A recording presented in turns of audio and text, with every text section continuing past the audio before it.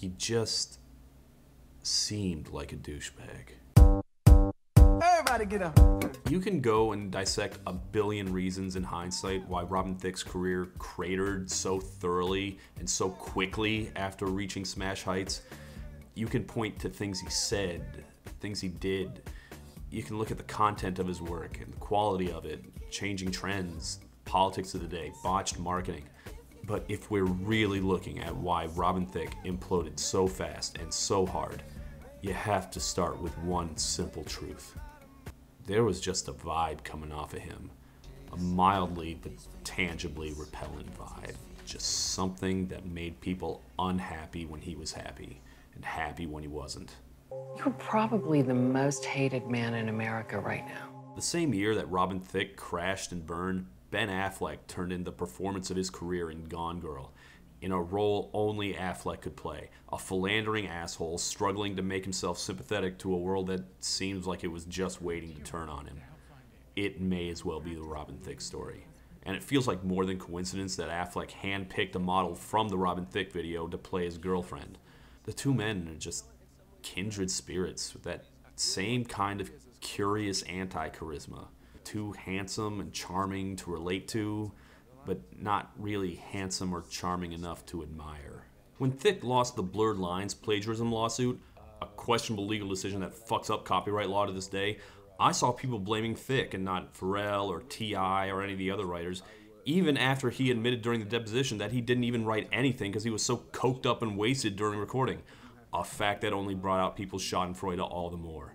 Everyone just liked seeing him fail. And fail he did. Keep it light, keep it light. In 2014, Robin Thicke released Paula, an album dedicated to and named for his estranged wife, Paula Patton. Now, that was only five years ago, so I probably cannot call this record a career killer quite yet.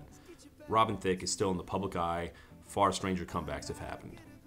I'm gonna call it a career killer anyway as have most people, because Paula bombed like nothing else has ever bombed in the history of bombs. We've seen big names fail to debut at number one and throw public fits about their low numbers, but if they had seen sales as low as Paula's, they'd melt like the Wicked Witch. If he ever has a hit again, it'll be a goddamn miracle, because Paula failed on every level possible.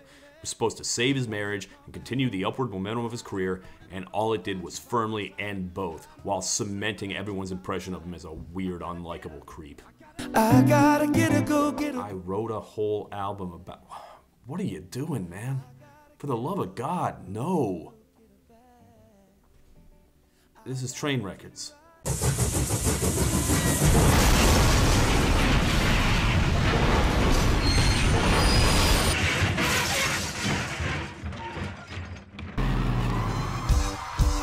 Everybody get up. August 25th, 2013, the MTV Video Music Awards. My God, was it so long ago. Robin Thicke will never be bigger than he is that night. It's not exactly a moment anyone would pick as their career high point, him wearing a ridiculous suit and being mostly a spectator to the Miley Twerktastrophe of 2013. But regardless, there he is in the most talked about music moment of the year, singing the song that made him a star. And here he is, less than a year later, with the opening track of his follow up album, Paula. It's called You're My Fantasy. It's a sexy, bossa nova, acoustic guitar love jam, of the kind he was known for in his pre blurred lines days. It's awfully low key, and let's be honest, not particularly memorable. Just another Robin Thicke song. You would not listen to it and think anything of it. Except right towards the end. Come back to me.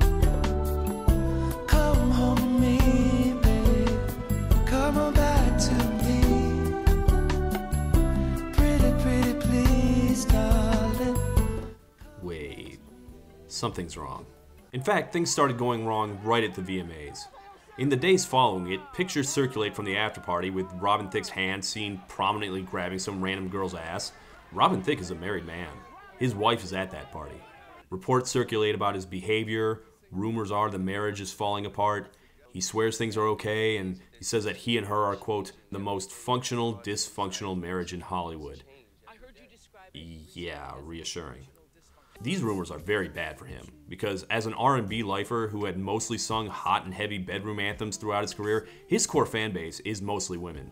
Some singers make being a callous heartbreaker part of their image, but that's not him. There's a great article by Cracked's Adam Tod Brown, which I'm cribbing from a little in this video, where he describes Thicke's public image as a ladies' man for one lady only. That lady being model actress Paula Patton, his wife. They have a great story. They're childhood sweethearts. They met at a dance when he was 14. The first night they met, he serenaded her with a Stevie Wonder song. See, it's those romantic instincts that would launch him to stardom. You can't go wrong by singing Stevie.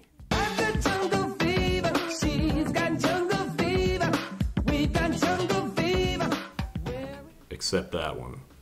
Please tell me he didn't sing that. Please tell me that's not true. But regardless, Robin Thicke is very publicly in love with his beautiful hot wife. She is on his album covers, in his videos. As revealed later, she secretly co writes songs with him, and their careers take off at about the same time. She starts getting serious parts the same year he has his first hit. She lands her first big lead role the same year he hits number one. His image is deeply intertwined with hers, so Robin Thicke failing at his marriage is like finding out Snoop Dogg has never done drugs or that John Cena hates sick kids. On February 24, 2014, despite his public statements, Robin Thicke and Paula Patton finally separate. Uh, any hope that they will handle this issue privately is gone when Robin Thicke starts dedicating songs to her in his concerts. I want to dedicate this uh, this song to her. Weird. Back to the album. I never should have raised my voice or made you feel so small. The second song off of Paula is titled Get Her Back. It will be the first single off the record. All I wanna do is keep it light, keep it light. Same gentle bossa nova guitar as the first song, but this one pleading and earnest and promising to make things right. I gotta get her, go, get her, go, get her, go, get her back. I boggle that this is the single he chose to lead off with. Gotta cherish her for life. I gotta get her, go, get her, go. Get Her Back is a wisp of a fart of a nothing of a song. I I suppose he had to make this the lead single because getting her back is the thesis of the record. And a subtextual message he has to send to his audience at the same time. You know, please forgive me. You know, I worry that I'm making this album sound like a terrible idea from the get go. Pot stars have a long tradition of mining uncomfortable public drama and turning it into gold records, right up to the present day. But there's one in particular that looms large over Paula. Watch this. These are my confessions. When In early 2004, Chili from TLC reveals in a radio interview that her recent breakup with Usher is because he cheated on her. Usher takes the public drama and turns it into the album Confessions, which becomes one of the best selling albums of the 21st century. Towards the end of that album is the track Can You Handle It from a young unknown songwriter named Robin Thicke. Confessions is clearly what Robin's modeling the new record on. Here's the difference well, there's many differences, but here's a difference. Confessions launched with Yeah, an unstoppable, in your face club jam. It followed that with the first single directly confronting the breakup, Burn, which is a shirt rending wail of grief. These are songs big enough to A, continue the momentum of a white hot singer with superstar aspirations, and B, match the ambitions of a concept album about guilt and heartbreak. Get Her Back is neither of these things. It is too small to launch an album, plus, it's skin crawlingly smarmy and insincere. I spent decades absorbing shit ass apology songs, so this isn't the worst I've heard, but it's up there. All I wanna do is give you that thing, play song you and your girlfriend sing. I just want to sing a song for you. Oh, yeah, that'll make it better. All I wanna do. all I wanted. Who gives a fuck what you want to do? The dark, desaturated video would have you believe that this is a song of great angst and pain, but it's not. It is absurd to think that this is a lead single. It's a horribly stupid decision by a man who will later admit he is high out of his mind making this album and has lost all good judgment. What can I say? Oh, what can I do? After this is the third song, Still Madly Crazy, another romantic profession of eternal love. It's a short little creepy video for this. But I can't control it. I'm still madly crazy for you. The great soul singers make you feel like they're singing to you personally, and this song almost makes me wish he was so I could reject his shitty overtures right to his face. And then something happens in the album. he just gives up entirely trying to sound romantic and just starts writing about what a fucking loser he is. One, two, look at you. Three, four, she locked the door. Keep knocking and knocking and knocking and knocking. He's doing his best Joe Cocker, blue eyed soul man thing, and the backup singer is playing his wife really let him have it. I'm trying to tell you you were pushing me too far. She locked the door. I'll be honest, this is the first song that really works. And he follows that with a song about how he's just going to enjoy life as a single man, and she will too, and that's actually good. Yes, you can, baby. I'm talking, talking that freedom. And you know what? Again, probably a better move than how this album started prostrating yourself pathetically to your ex, which is what he's doing in public. May 18th, 2014, the Billboard Music Awards. Robin Thicke wins an award for Blurred Lines, I'd like to thank uh, my wife for her love and support and uh, for putting up with me all these years. and the cringy drunk text of a single, Get Her Back, makes its debut later that night. Alright, y'all, help me get it back now, yeah? He says, Help me get her back several times. Go, put your hands together, y'all. Help me out. Let me help me get it back now. So, whatever he's attempting to do to Paula with this public message, if you cheer him on, you are complicit in it. Shout out to the uncomfortable looking woman in the front row. She speaks for us all. Meanwhile, back on the album, we get this line. I'm moving to New York. That's actually Paula herself who recorded that for the album. Probably the last gesture of goodwill Robin got from her, or anybody. I don't know what I expected to follow that announcement of separation. It wasn't this.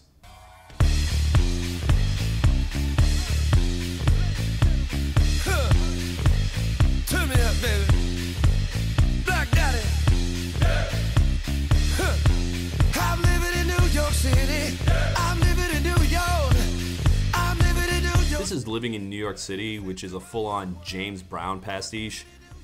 It doesn't really have anything to do with the breakup, and it kind of slaps. Me, you, and why? Why not? Why not?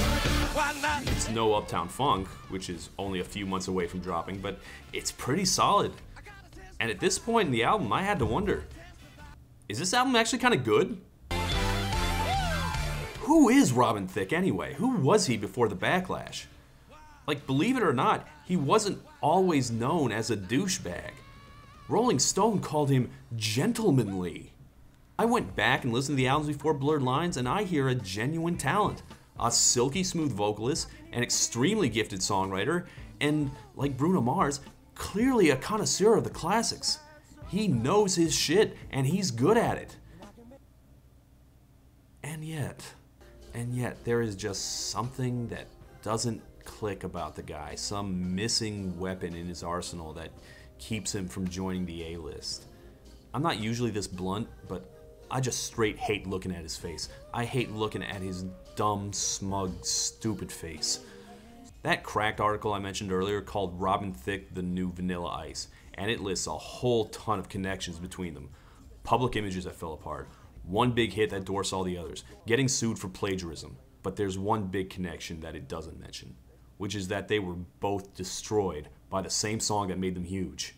Blurred Lines was Robin Thicke's big pop move, his chance to jump from just R&B to the mainstream. But Ice Ice Baby and Blurred Lines are the worst kind of big hit. Too catchy to not listen to, but by the 10th or 20th time you hear it, the flaws in the artist are just too obvious to ignore. Vanilla's feeble rhymes, Robin's jack off sense of humor, just an obnoxious personality behind both. I think calling Blurred Lines a rape anthem is probably overdoing it. And in hindsight, I kind of regret wading into that discourse. But there's no denying it's a skeevy, pushy song. And if it reminded people of every dipshit who wouldn't leave them alone at the bar, I don't blame them. Usher was able to play the remorseful heel because he had people's respect after years of hits. Robin is trying to propel the Paula album with goodwill from Blurred Lines that he just does not have. But somehow at the same time, I found myself having some kind of sympathy for the devil here. Yelling and screaming and smacking me. How could you do this, you spoiled little rich kid? Rock. In the middle of the record, you get Black Tar Cloud, which is the darkest song on the record, and it is detailed. You were lying in bed. Said you took 20 pills. Now I'm calling the ambulance police. I'm freaking out till you said chill. Jesus Christ. Okay, there is one other record besides Confessions that looms large over this one. That is Here My Dear by Marvin Gaye. Not the first time Thicke drew inspiration from Marvin Gaye, ho ho. Yeah, like Robin, Marvin was coked out of his mind while making Here My Dear, which is an album about his then recent divorce. It's super acclaimed by critics. I actually find it kind of a difficult listen because Marvin's so bitter and angry, but there is definitely a cringy fascination in it. It's so TMI. You listen to it and you know everything, and you feel like you shouldn't be watching this, but you can't help yourself. That isn't quite the same as what Robin's doing because Robin's not spiteful, he mostly lays into himself. But there is that same kind of voyeuristic, can't look away aspect to it. It's morbidly fascinating and shows the weird contradiction in the album's own mission. He's trying to get Paula back, but the project fails the hardest when it's trying to be romantic. It's at its best when Robin's admitting what a giant shithead he is and airing all their dirty laundry. None of this could possibly make her want to take him back. And maybe the best song about the breakup is a song called The Opposite of Me. All that she wants is the honesty. All that she wants is the opposite of me. A gentle early 60s sounding thing where he seems to realize that none of this is going to work. All that she wants is the action, not the words. If you read the album as Robin going through the five stages of grief, this would be acceptance, and it plays a lot better than denial or bargaining. It sounds like him finally being honest with himself about how badly he fucked up. But again, that's not what he's doing in public. You and I are meant to be forever love. June 29th, 2014, Robin Thicke performs the album closer Forever Love at the BET Awards. He is doing his best to look the penitent, heartbroken man. He is not pulling it off. You Oh, that pause. Oh, he's so moved he had to interrupt his performance to hold back his tears. Oh, look at that. How could that possibly have been more contrived?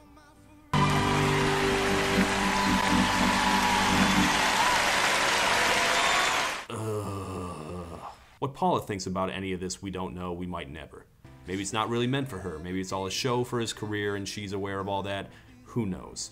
But all indications are that it was for real. And if so, it's fucking gross. It's manipulative and it's creepy. It's like pressuring someone into marriage by proposing on the Jumbotron. And for a lot of people, this is the moment where Robin loses them for good. Speaking of losing people for good, here's a song on the album called Tippy Toes. dancing on the tippy toes, the tippy toes, dancing on the tippy toes. The If this album were a musical, this would be the Shipoopi. Like, it has nothing to do with anything. I guess it's there to lighten the mood, but it's so stupid. The hook is super repetitive and it's mostly just annoying. After that is Something Bad, where again Robin tries to revel in being a bad boy. Oh yeah, I've been so bad. What are these backup singers? It sounds like a bad outtake from the Dick Tracy soundtrack. And at this point, I had to wonder is this album actually bad after all? Actually, the backup singing is kind of awful throughout the album. And once I noticed it, I couldn't not notice it. Oh, and there's a moment where Robin tries his Michael Bublé on and the horns sound like crap. Look, Paula is a rush job. For the Blurred Lines album, Robin worked the hottest producers like Timbaland, will.i.am, the Neptunes. Paula is produced by Robin and his regular collaborator Pro Jay and no one else, and he pounds out the record in a month. Not only is he turning off his old fans with all the public drama, he's turning off the new fans he made with Blurred Lines. I'm sure that in the thick of it, the thick of it. I'm sure that in the thick of it, all the drama felt like something he needed to address and quickly. But did he? I, I don't care about Robin Thicke. He's not like an icon or anything. Before this shit show record, I didn't even know they were married. Like maybe his divorce matters to his diehard fans, or if you're super into R&B or tabloids. But to the casual listener, he's just the Blurred Lines guy. Just make Blurred Lines Part Two. But he's not. And there's no radio hooks on the album. Internally, Robin's label is having the same problem. They think of the record as more of a mixtape and not a real album, and they don't think it's a good idea to treat it like one. But Robin cannot be dissuaded. Album day. We're popping bottles and uh, it's album time. I just bought the album too. July 1st, the album drops. Robin Thicke does a number of radio interviews to promote it, and he looks a fucking wreck. Last year's really just kind of a blur in many ways. Not One serious disadvantage of being a white boy in R&B is that black don't crack, as opposed to Robin, who is not aging well at all. He's pushing 40, and he looks like he's put on 40 more in just the past year, and all the substance abuse cannot be helping. It will never be easier to drop him from your life. The album comes out, and reviews are mixed. Some critics think it's embarrassing in a positive way. You know, it's honest, it's raw, it's dark. Others think it's embarrassing in an embarrassing way. Some critics are even harsher. But what the critics think doesn't really matter considering what's coming. Forever love, oh, forever love. The album, it ends with Forever Love, song which kind of sounds okay as a fond goodbye, but unfortunately I was introduced to it as a creepy public manipulation, so yeah. And that'll take us to July 8th. The sales numbers from the first week are in, and they are catastrophic. In the US, it sells 24,000 copies. For perspective, the debut album of Jordan Smith, who won season 9 of The Voice, sold 54,000 copies its first week. Who the fuck is Jordan Smith? I but he's more than twice as big as Robin Thicke apparently. That's an 86% drop from Blurred Lines. And that's before looking at the numbers from other English speaking countries where Robin had also been big 550 copies in Canada, 530 in the UK, 158 in Australia. Not 158,000, 158. These numbers are impossible. People sell more records in Times Square on the street than Robin Thicke sold in England. Even people who hated him couldn't fathom how low he'd fallen. The same man who was just a year earlier bragging about the size of his dick now looked flaccid and shrunken and deflated. The end of the Get Her Back video promises that this is only the beginning. It was not. There would be no second single. The marriage, of course, did not recover because putting your wife's name on a giant, flaming, world renowned failure is generally not considered a good move. Paul has ever even listened to the album, we don't know. She's never discussed it publicly, and she doesn't really need to. She just let it fail on its own merits.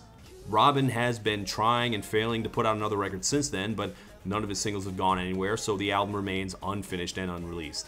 Seems like most everyone is done with him. And yet, Robin Thicke says he has no regrets about it. Well, yes, he does, about the public appearances and the marketing and maybe even charging money for the record, but he doesn't regret putting it out there.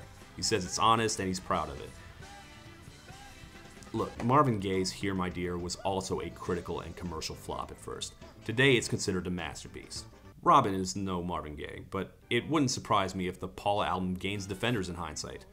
Like Gone Girl, it's a man realizing just how limited his charm is. And since it failed so hard, there's the pathos of the sad Affleck meme around it now. It's so naked and pathetic, and maybe that alone is as much a manipulation as the more obvious attempts that failed. I can't really sympathize with them, and I can't quite recommend the album either. Too much of it just flatly sucks, and its very existence is so shitty for the woman it's addressed to.